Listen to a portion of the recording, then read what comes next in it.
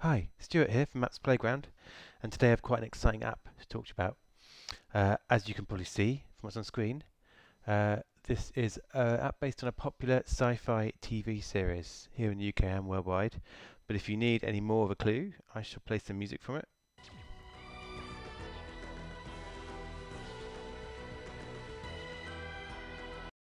That's right, it's Doctor Who.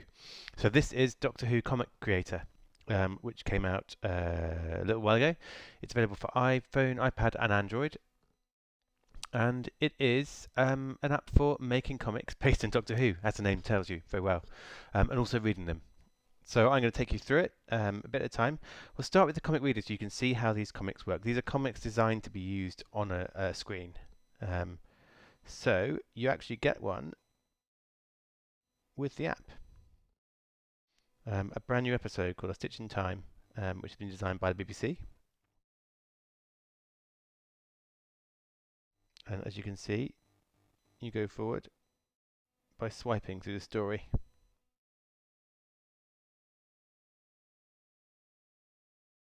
And the idea of reading this is obviously you get a new Doctor Who story, but you can kind of see what you can create in the creative bit. Um, so everything here you can make yourself. So it's very smooth. It's designed for children, this app, I think. So the story is quite simple, nothing too scary, um, all good fun. So the meat of it, obviously, is in the creator mode. Um, so the way it works is you can create a so I'm starting a new one, call it uh, the Doctor. That's wrong. The Doctor the keyboard is a bit annoying. I will say that. Is he going to stop me before the end? No. The Doctor and the Beasts.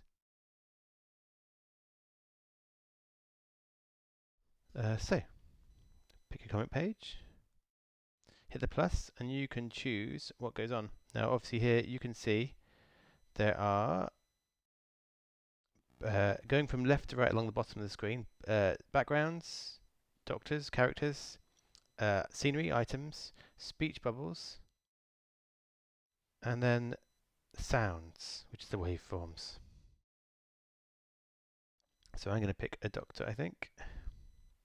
Now, as you can see, I've got the basic version of the game, which is free. Um, the things that are locked, you have to buy. So it uses in-app purchases. So I can use um, the, the latest Doctor or the last Doctor, um, Peter Capaldi or Matt Smith. Everything else there is locked and going to have to buy it. So I'll show you that in a little while. But just to show you how it works first, I'm going to tap on Matt Smith.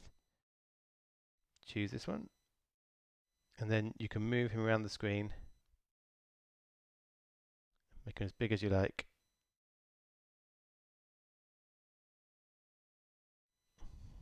And edit my comic. So I'll choose a good background, I think.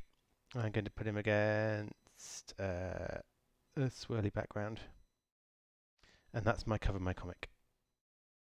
So it's very easy to use. Basically, every page works the same. So when you get into the comics, you can choose how it's laid out, and these are all different pages you can have. Um, so if you've grown up with comics, you'll have an idea of which ones you want. So you choose your page, choose your panel, hit the plus, and build it as before. So you could start off in the TARDIS, choose a character. Now these are all the doctors. You go along, you can see the companions. If you go along, you can see various uh, monsters. So I'm going to choose Clara.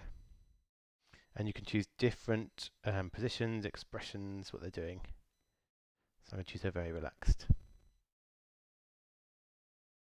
Put her down there. And then we ought to have a doctor really, shouldn't we? So I shall pick the latest Doctor. He can be standing there too, looking slightly more worried. Now these tools at the bottom you can see, um, they can flip him sideways or even upside down. And then we probably need a speech bubble. So here we go. Different types of speech bubble. And again, with these, you can flip them depending on who's saying them. And then hit the T button, type in text.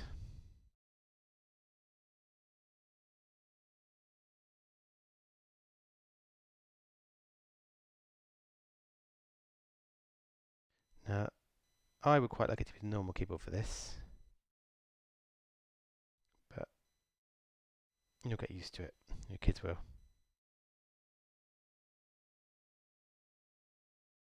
And there's your phone. So you carry on like this, basically. Adding in different backgrounds, different characters, different scenery.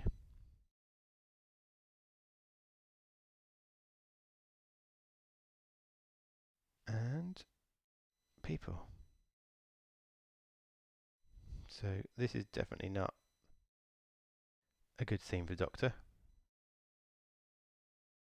We'll have this character who proper fans will be able to tell you who that is.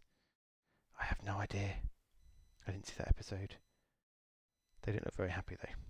So yes, so it's very easy, and it, it's it's one of those ones where if you if you've read comics, if your child has read comics, they'll get the hang of it straight away. Even if they haven't, it's very easy, and there is a, a tutorial that takes you through it as well, um, which I've obviously completed already. Boo! There's a reason why I'm not a Doctor Who scriptwriter, and so on. So you can create your comic, and then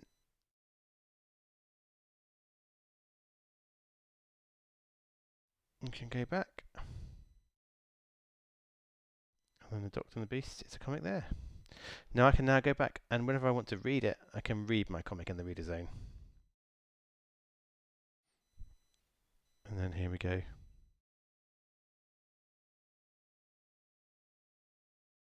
it will sweep through my different things like that. So it's very easy, lots of fun you can have. Now I did say about the um, buying things. So this is free um, to download and use. There aren't that many characters, there's a few. And it basically makes sure you're the parent before you want to buy something. Although if your kids can do simple maths, then they won't find that much of a trouble. But then there is a store,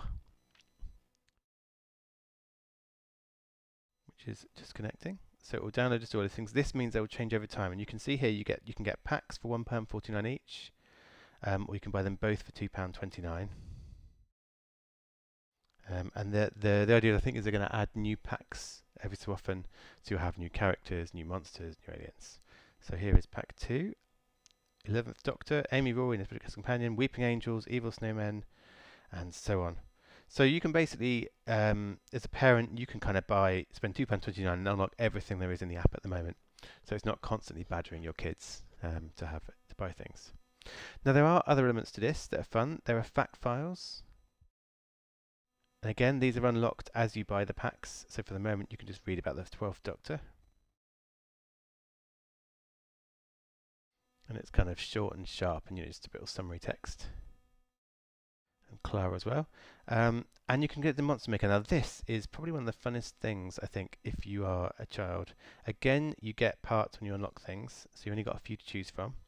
But if you start with a Dalek head,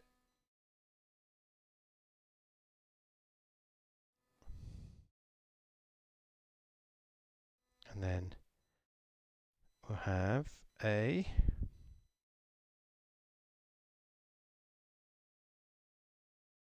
slightly strange combination of a, a human woman's body, um, who's presumably one of the monsters, and then uh, tentacle arms.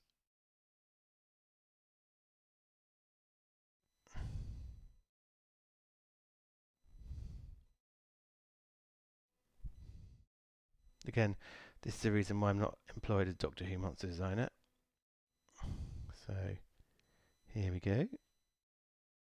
And then I think we should probably have some great big clumpy moon boots.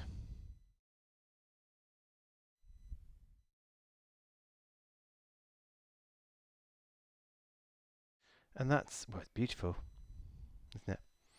Uh, and I save it. That's my monster. Now, the good thing here is when I'm making my comics.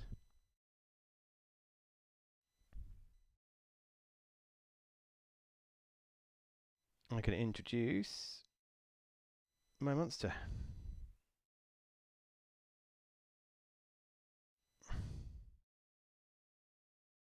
You can now sidle on, stage left, and menace the doctor. So there's kind of scope in here for um, creativity for kids. They can actually make up their own monsters um, as well, um, which is good fun. So this is Doctor Who Comic Creator. Available for iOS and Android, free to download and try. Um, you'll probably want to spend at least £1.49 on the packs to get some more stuff. And I think it's really good fun. I think for fans of Doctor Who, for young fans of Doctor Who, and for still parents fans as well, it's a good. It's not just a kind of game to play. It's a bit of creativity, a bit of imagination, a bit of storytelling, um, with some of your kids' favourite characters and monsters. Um, so give it a try. Let us know what you think. Post a comment, and if you like reviews of kids apps and vlogs about parenting and digital stuff, then you can subscribe to this channel. There should be a button somewhere around me, uh, around this video and stay tuned for more reviews in the coming days, weeks and months.